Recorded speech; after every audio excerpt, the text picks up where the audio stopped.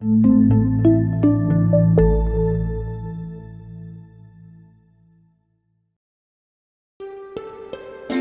the season for gift giving. If you get a drone for the holidays, remember to register it before flying. It's easy. Just go to faa.gov/uas to register and stay up to speed on drone rules and important safety tips. A drone is an aircraft, you are its pilot, and safety is your responsibility. For example, never fly over groups of people and always respect the privacy of those on the ground. And of course, never fly near other aircraft or into restricted airspace.